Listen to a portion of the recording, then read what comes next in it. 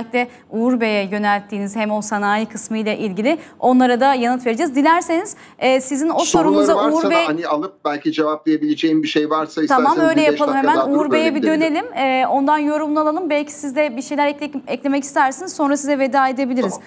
Uğur Bey ne olun. dersiniz Tek bu bir duruma? şey söyleyeyim. Öncelikle Sencer Bey gerçekten çok güzel ifade etti. Evet. Türkiye'nin problemini. Bakın Sencer Bey dahil burada bu e, katılımcı olan herkesin ve Türkiye'nin problemi Erdem kardeşim söylemişti. Hukuk devleti olmayınca işte bunları yaşıyoruz. Hukuk devleti olmayınca sözleşmenin bile rahatlıkla ifade edilebileceği, sözleşmenin bile yok sayılacağı ve dayatmayla, hukuksuz bir şekilde dayatmayla ya bunu böyle yaparsın ya da seni e, zora sokarım, mahvederim baskısıyla hukuksuzluğa ve boyun eğdirmeye gidiliyor. Kimdir peki bizim hakkımızı koruyacak olan devlet? Adalet sistemi.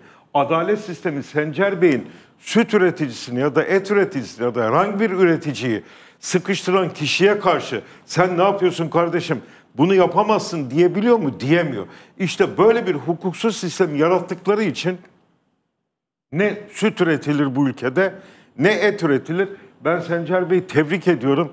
Ee, Herhalde yani şaka, latife, deli falan olması lazım bunları yaptığı için.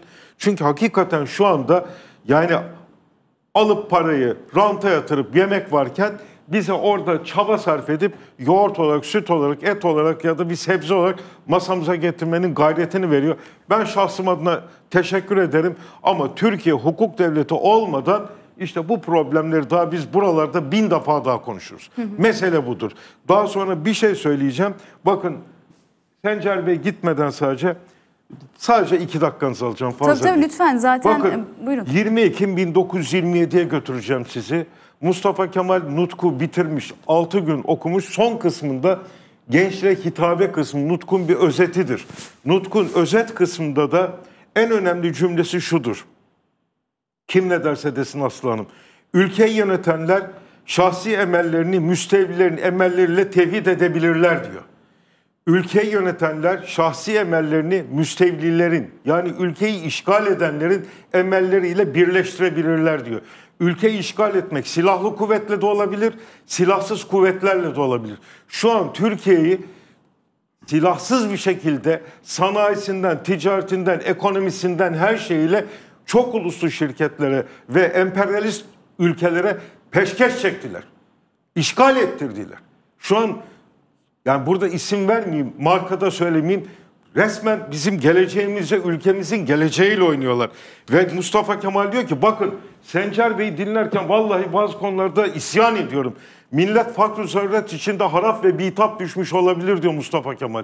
Şu anda Türk milleti o günden bugüne 100 senelik devlet deneyimiyle neredeyse Kurtuluş Savaşı'nın yeniden verilmesi gereken bir noktaya geldi. Kime karşı işte? Emperyal güçleri. Emperyal güçler şimdi silahla gelmiyor ki. Tankla, tüfekle gelmiyor ki. Neyle geliyor? Çok uluslu şirketlerle geliyor. Gübresiyle geliyor, ilacıyla geliyor. işte sermayesiyle geliyor. Bursa'da, Karacabey'de, Antep'te fıstık üreteni, Ordu'da fındık üreteni ya bunu böyle yapacaksın ya da senin gırtlağını sıkarım diyor. Devlet nerede kardeşim? Hani Fırat'ın kıyısındaki koyun kaybolursa onun hesabını devlet soracaktı. Sencer Bey'in hesabını kim soracak bu ülkede? Kim soracak? Bizim soframıza gelen ekmeğin fiyatını biz mi belirliyoruz? Kim belirliyor?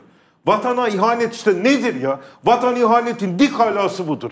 Ve bu hususta hukuk devleti olmak zorundayız. O nedenle dönüp nereye getiriyorum her seferinde Türkiye ne yapıp yapıp bu kafadaki bu iktidardan demiyorum bu iktidarlardan kurtulup milli menfaatleri, halkın menfaatlerini önceleyen bir iktidarı getirirse ve hukuk içinde hesap sorarsa biz bir daha bunları yaşamayız. Benim diyeceğim bu.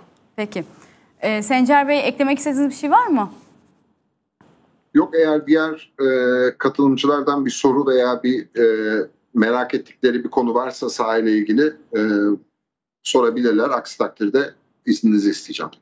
Ben birkaç Tabii şey Murat Bey'in e, var bir değerlendirmesi ve sorusu. Şimdi kendisi de bahsetti. Sonuçta bu bir üretim. Üretimin bir sermayesi var, maliyeti var, bir de toprak alan var. Ee, biz tabii doğal olarak tüketiciler olduğumuz için buraları kaçırıyoruz. En çok dikkatimizi çeken şey konut fiyatlarındaki artış ve kiralar. Buralara Evet. odaklandık.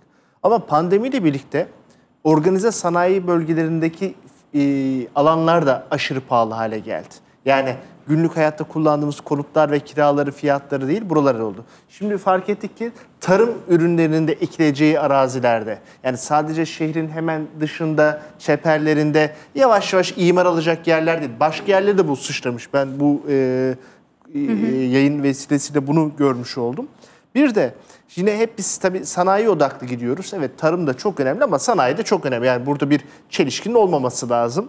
Ee, ve sanayide en çok konuştuğumuz şey şu anda işletmelerin ee, sermaye, şey, işletme sermayesine erişim zorluğu. Nedir o? Çok karlı olmadığı için